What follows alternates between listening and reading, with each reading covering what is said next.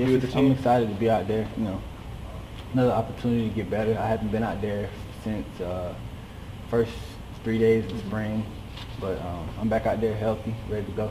Do you feel kind of like the forgotten man in the backfield? It seemed like everybody's talking about Nick now, and then Keith Marshall making his comeback, but sort of like, hey, uh, remember me? You know, Uh, nah, I- I mean that's not something that actually. That's, I'm surprised because I, I haven't really thought about that, me being a forgotten man. But I mean, it's not really about me.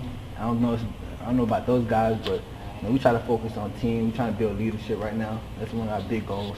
Is this still in the plans for you to work on special teams? I know you did a lot of that early last season and we were very successful at it. Is that an injury concern for the coaches? Do you plan on being out there making tackles again? Uh, I've tried. To, I'm gonna work hard so I can earn a starting spot on every special teams. You know, right now I'm on the list. I'm on the depth chart. I'm working my way up and trying to be a starter on each one of those phases. What was your injury exactly in the spring that kept you out? Uh, fracture scapula. And what, was that the same shoulder? Yeah. And uh, what, would- how would you describe the first injury? Um. Broken shoulder blade or? Uh. Yeah. Broke shoulder blade. So basically The same thing. Yeah. Same thing. The same thing. So You you- just aggravated the shoulder injury in spring. Yes. That's what happened.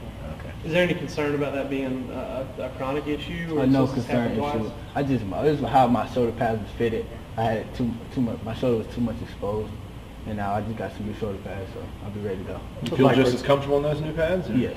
And just as confident. Yes.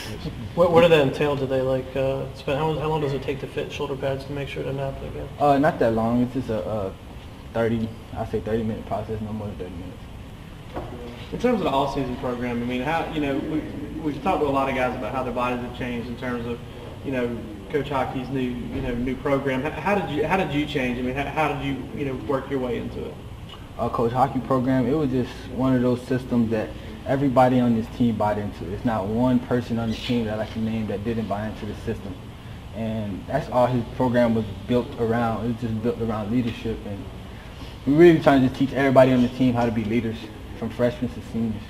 What's your weight now compared to what you played at last year? Uh, my weight right now is probably just like three pounds higher. I played at 205 last year. I'm at 208 right now. Best you felt ever right now this year? Oh yeah, best I felt. We talked about asked- special teams. Does that include you wanting to return kicks again this year? I know Belton, Uh, you had a Yeah, big I- one that got called back, unfortunately for you. But Yeah, I try to return kicks, but you know, I, we got a superhero Yeah. back there. I just hit McKenzie. but I, I'm excited. I hope I'm back there. I'm on it just to be able to block for him. If I can- If I'm on it to block for him, I'll be excited. you call McKenzie joystick because he goes all over the place. But in a straight 100-yard dash, so to speak, who would win? You or you He were won. Would it? Yeah, he'll win. By how much? I, I don't know. you probably win by I mean, a good bit. Yeah. So he's that impressive out there. Yeah. Back to Isaiah. I mean, he, he's a guy. I mean, he, he had the suspension at the end of last year, but but Coach Richt was real complimentary of him in, in the spring about how he had kind of come along as a player. Uh, How do you see? Uh, how do you see him? How, how do you see how he's grown up since he's been at Georgia? You know, what what improvements has he made to his game? I mean, is he going to be a guy that can help you guys on offense? Yeah, Isaiah from high school to college, I've seen so much improvement in his growth, and he just get better and better every year. And it's just like wow, because he's learning the game. He's really a student of the game. He know the playbook. He's out there teaching those young guys, hey, run this. He's a leader also. That's one thing I see. I sit back and I just observe. I, I kind of like to observe, and I just see him really building.